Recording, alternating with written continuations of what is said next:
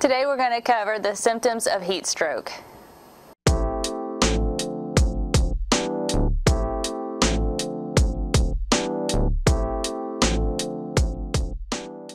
So we're going to cover some of the symptoms of heat stroke. Some of the things that you want to watch out for when you're exercising outside is heat exhaustion and heat stroke. So be cautious of those things. Some of the ways that you can prevent them is to stay hydrated and watch out for being out in the heat for long periods of time. But also knowing the symptoms of heat stroke um, can help you as well. Watch for clammy skin, sweating profusely, um, seizures, confusion, anything that might seem out of the normal for you.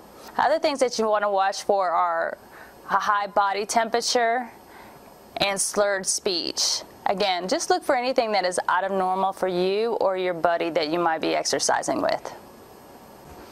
I'm Tamara Kissinger, and this has been Let's Be Fit.